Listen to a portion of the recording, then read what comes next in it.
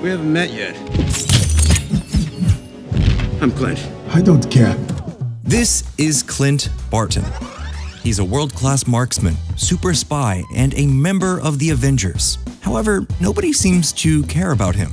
In the comics, Hawkeye has a near 60 year history, a dedicated fan base, and a code name. In the movies, he's just Clint Barton, and he's definitely not anyone's favorite Avenger. Why is that? Okay, look, the city is flying. We're fighting an army of robots. And I have a bow and arrow. None of this makes sense. Before we get too far into today's episode, be sure to subscribe to Nerdstalgic to stay up to date with everything we've got going on. First appearing in Marvel's Thor and sporadically appearing in the MCU ever since, you'd think that Clint Barton would be a fan favorite. He's the everyman, the mortal with feet of clay, surrounded by superhuman beings and literal gods. And yet, it doesn't quite feel like there's a stalwart fanbase who are clamoring for more of Jeremy Renner's Mauve Archer.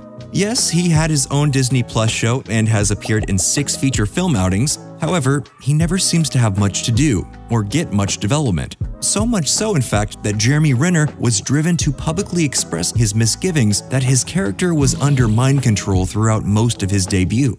He went so far as to ruin multiple takes by clasping his heart and falling to the ground. When asked what he was doing, he said he was acting like he was having a heart attack so he could be killed off at any point in the movie. I've done the whole mind control thing. Not a fan. In Age of Ultron, the Marvel Creative Committee tried to fix this rocky start. Clint was given a backstory of being a family man and wanting to leave the SHIELD life. However, at the end of the day, the character still just ended up being the badass with a heart of gold cliche. Hi, sweetheart. Hey, buddy. These are Look at your face. smaller agents. In his most meaningful appearance in the MCU, his family is killed, he reinvents himself as a vengeful ninja, and is eventually pulled back into the fold by Natasha. This is the most development the character has received over his cinematic existence and is based exclusively on the least interesting time of his comic book adventures.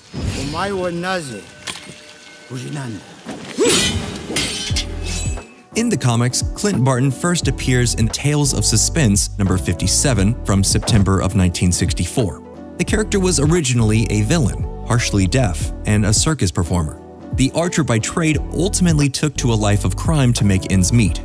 He also looks much different than the black leather ensemble that Barton usually sports. The character that the MCU has attempted to develop is more closely related to the Ultimates version of Hawkeye than the traditional 616 version. He's a spy, he's got a family, and he's a badass, even going so far as to kill multiple adversaries with his fingernails. starting to root for this guy. By comparison, the MCU Barton is bland, very bland, and there's a few reasons for this. Hawkeye never got the shine that Cap or Tony or Thor got. Thus, he was relegated to supporting character in the continuing Avengers films. They just don't have enough time or space to fully flesh him out in those large ensemble action films. You know what would be interesting for Clint to do? Wear his traditional purple costume, use trick arrows like a boxing glove and a boomerang, and have a relationship with Bobbi Morse. But we'll get to that in a second.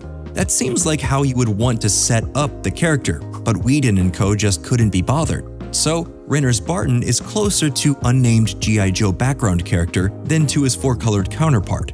The MCU is fine with literal dragons and aliens, but a purple mask and a boxing glove arrow? That's too far. Yeah, I didn't write it.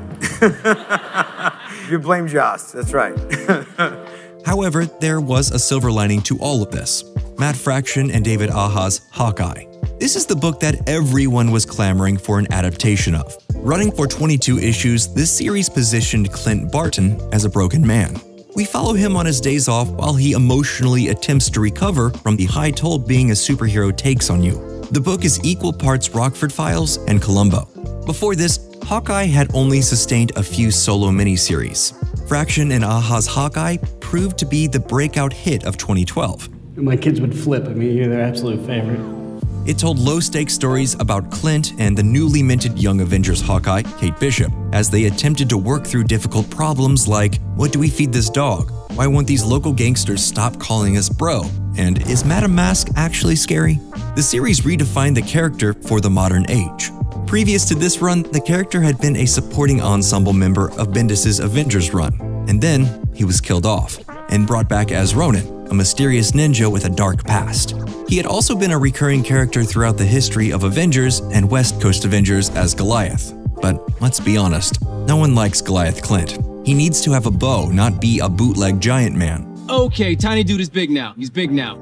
So, in September of 2018, when Marvel Studios began developing a solo Hawkeye series, there was only one viable option for a Clint show the Fraction and Aja work. However, as is so often the case with these works of genuine creative vision, when it was adapted by people other than Fraction and Aja, all the magic was lost. The Disney Plus show is a fine Disney Plus show, but it's a terrible Hawkeye show.